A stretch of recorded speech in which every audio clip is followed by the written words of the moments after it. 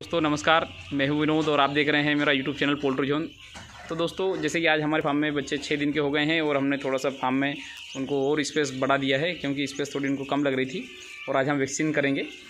आ, उसके साथ में दोस्तों कि हम जो लीटर हैं डेली लीटर की रेकिंग हमने स्टार्ट कर दिया है क्योंकि लीटर थोड़ा सा ये सूखा रहना चाहिए जो थोड़ा सा बीट जो उनकी पत्तल जो है वो थोड़ा उस लीटर गीला कर देती है तो उसको डेली लीटर रेकिंग करने से एक तो अमोनिया गैस निकल जाती है और जो लीटर है पूरा सूखा रहेगा, उनको बैठने में थोड़ा सा आरामदायक रहेगा। और ये लीटर बाद में चल के केक टाइप नहीं बनेगा, डेली अगर हम रेकिंग करते रहेंगे तो। और दोस्तों, बुरादा ज़्यादा, मैंने पहले वीडियो में बताया था कि बुरादा ज़्यादा डालें, उसका कारण ये है कि बुरादा ज़्यादा डालने से लीटर रेकिंग करना आसान हो जाता है।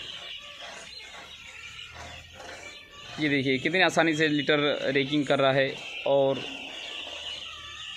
केक भी नहीं बनता है। उसका कारण है क्योंकि वो जो ज़्यादा बुरादा रहता है, वो डेली लीटर रेकिंग होने से वो टूटते रहता है। ये जो हल्का हल्का जो केक टाइप बना है, इनको हम तोड़ देंगे दो तीन बार पंजी मार के।